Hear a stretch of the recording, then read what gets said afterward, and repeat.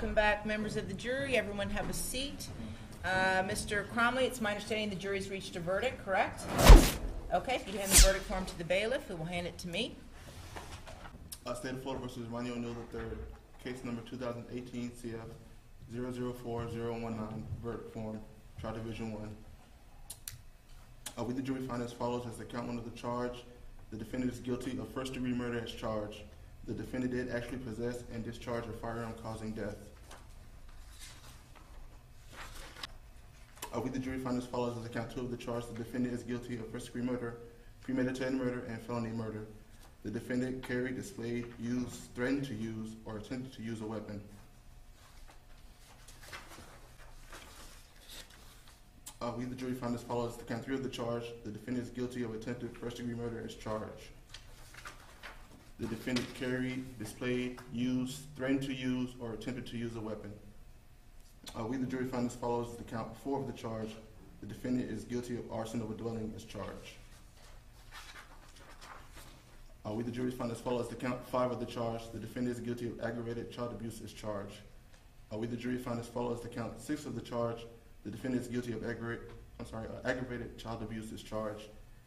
We, the jury, find as follows: to count seven of the charge, the defendant is guilty of, of resisting an officer without violence as charged. So say we all dated this 21st day of June 2021.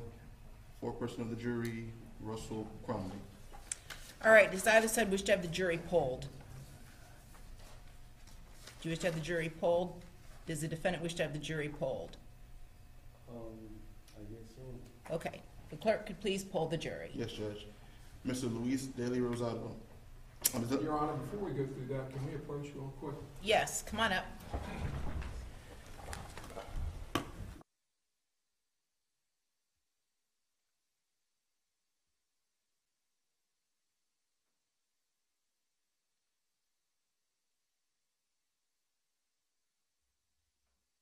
Okay, please poll the jury. Yes, Judge. Mr. Luis Ro, I'm sorry, Mr. Luis De La Rosado, um, um, is this your true and correct verdict? Yes. Mr. Mark Douglas, um, is this your true and correct verdict? Yes. Mr. Russell Cromley, um, is this your true and correct verdict? Yes. Mr. Harold Waters, um, is this your true and correct verdict? And Miss Charlene Louise Charles, is this your true and correct verdict? Yes. All right, very good. Thank you, members of the jury. So, um, now that the, um, you have found the defendant guilty of first-degree murder, that means we will be going into a penalty phase. However, I'm gonna give you guys the day off tomorrow, all right? There's some things we need to do, um, as far as to get ready for that phase of the trial, which will begin Wednesday at nine AM.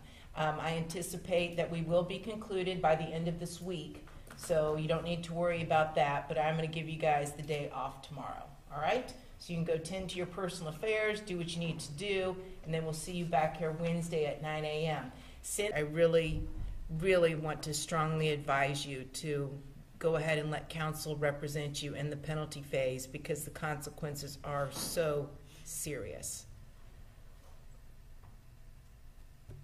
Okay? Yes, ma'am. Okay, very good. That's all I asked. Just think about it. All right? All right, see you all at 10 a.m. tomorrow, okay? Very good.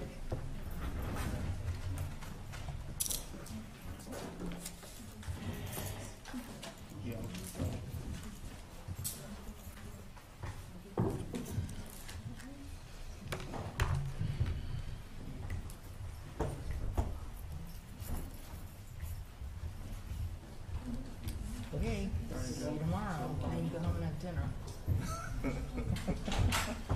I'd be crabby if I hadn't eaten all day.